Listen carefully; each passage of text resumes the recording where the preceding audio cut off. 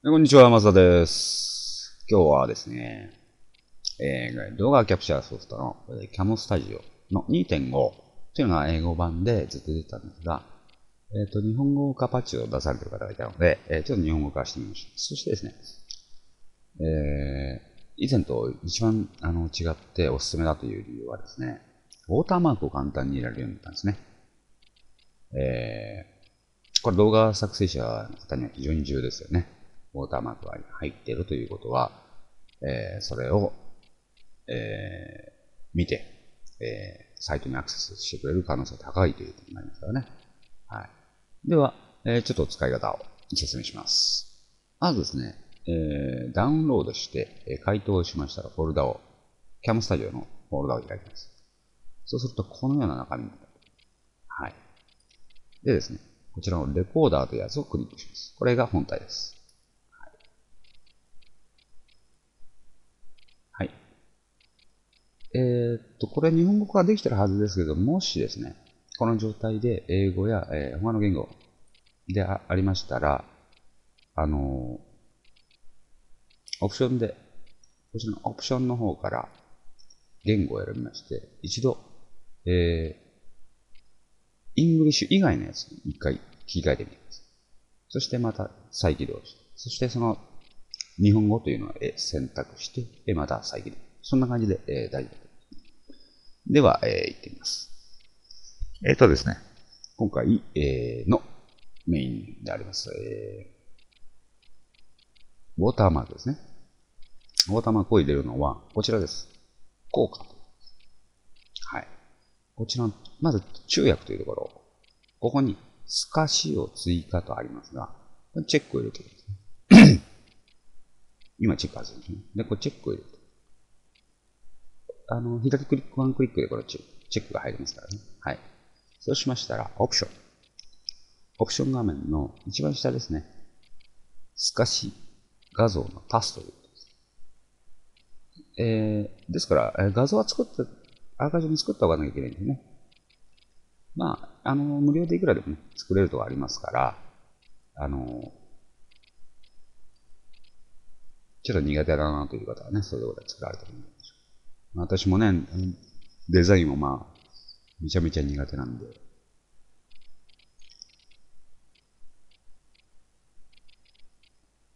大体私が、なんかやってデザインをするろくなことが。イメージがダウンする。はい。これで OK をします。はい。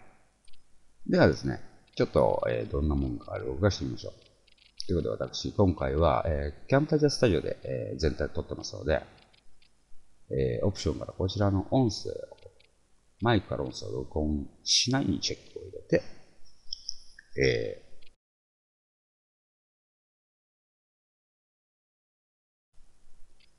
範囲ですね。範囲を決定します。全画面。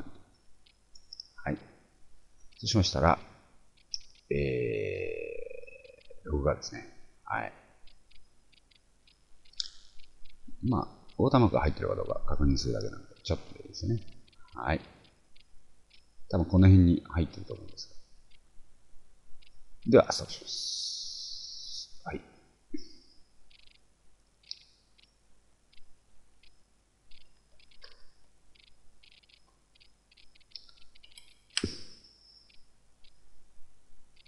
テストってファイルがあるな。ちょっと。あららら、コメント書いちゃった。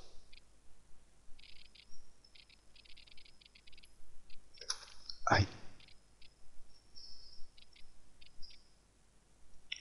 そうしましたら、えー自然に、えー、カムスタジオプレイヤーが立ち上がりますね。ここに入ってるのがもうお分かりになりますよね。これが、えーウォーターマークです。はい。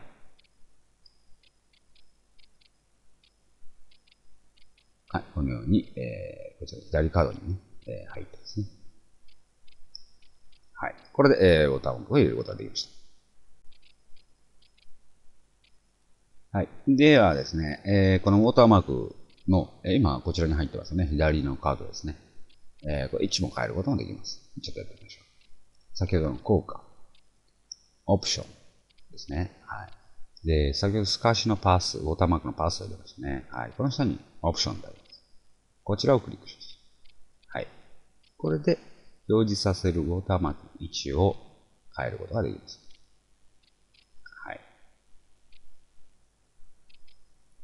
こういうふうに位置を変えてください。えー、キャムスタジアとかの、キャム、カムタジアスタジオの場合なんかは、え、大きさやこの透明度まで変えられるんですが、えー、この無料のカムスタジアだとここまでですね。でも十分ですよね。これでね。えー、入れられるということが分かったと思います。ちなみに私が作った、えー、このサイズですね。このサイズをちょっと見てみましょうか。参考になるかもしれないですね。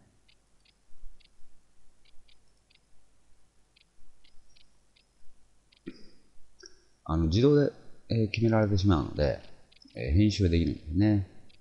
キャンタジオスタジオの場合は、えー、サイズも、えー、変更できるんですかね。